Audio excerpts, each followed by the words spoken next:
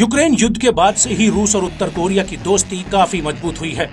यहाँ तक कि जब रूस के पास यूक्रेन युद्ध में हथियार कम पड़ गए तो रूस के रक्षा मंत्री सरगेई शोइगु उत्तर कोरिया के तानाशाह किम जोंग उन के पास मदद के लिए पहुँचे थे। लेकिन इस सब के बीच एक तरफ़ रूस को ईरान, उत्तर कोरिया और चीन से मदद मिलने की खबरें आ रही हैं। वहीं दूसरी तरफ़ पश्चिमी देशों ने अपनी सारी ताकत यूक्रेनी सेना को मज़बूत बनाने में झोंक दी है।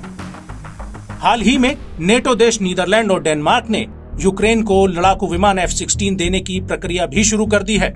पहले यूक्रेनी पायलट्स की ट्रेनिंग होगी, उसके बाद ये खूंखार जहाज़ यूक्रेन में मोर्चा संभालेंगे। लेकिन इसको लेकर उत्तर कोरिया के तानाशाह किम जोंग उन तिल मिलाए हुए हैं। दरअसल, किम जोंग उन का कहना है कि यूक्रेन को एफ़ सिक्सटीन फाइटर जेट देकर अमेरिका यूक्रेन युद्ध को वैश्विक परमाणु आपदा की तरफ़ ले जा रहा है। नॉर्थ कोरिया ने यहाँ तक कह दिया कि अमेरिका को कोई अधिकार नहीं है कि वो उत्तर कोरिया के रूस के साथ सैन्य संबंधों की आलोचना करे। किम जोंग उन ने ये तक कह दिया कि यूक्रेन के राष्ट्रपति वोलोदिमिर जेलेंस्की अमेरिका के हाथ की कठपुतली है। वो वॉशिंगटन के इशारों पर चल रहे हैं। लेकिन इस सब के बीच किम ने एक बड़ी बात कही है। वो ये कि हम एक बार फिर अपना पूरा समर्थन और एकजुटता रूसी लोगों की इस लड़ाई में दिखाना चाहते हैं, जो अपने संप्रभु अधिकारों और अंतर्राष्ट्रीय न्याय के लिए लड़ रहे हैं। हम रूस के साथ सैन्य मित्रता सौ गुना बढ़ाएँगे।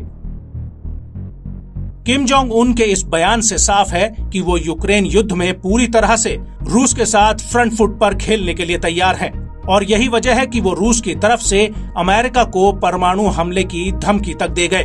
आपको बता दें कि ये पहली बार नहीं है जब उत्तर कोरिया ने यूक्रेन को मिल रही पश्चिमी देशों की मदद की आलोचना की हो। इससे पहले भी जब अमेरिका ने यूक्रेन को क्लस्टर बम देने की घोषणा की थी तो उस वक्त भी किम जोंग उन आग बबूला हुए थे। और ऐसी खबरें भी आई थी कि उत्तर कोरिया ने रूस को गोला बारूद, रॉकेट और मिसाइल सप्लाई की थी। हालाँकि नॉर्थ कोरिया ने इन आरोपों को खारिज कर दिया था। और सबसे बड़ी बात यह है कि जब पिछले महीने रूसी रक्षा मंत्री सरगेई शोइगु उत्तर कोरिया गए थे, तब किम ने खुद आकर उन्हें अपने परमाणु हथियारों का जखीरा दिखाया था। उस वक्त ये शक जताया गया था कि रूसी रक्षा मंत्री उत्तर कोरिया से हथियारों की डील करने के लिए आए हैं, क्योंकि रूस के अपने हथियारों का जखीरा अब खाली होता जा रहा है।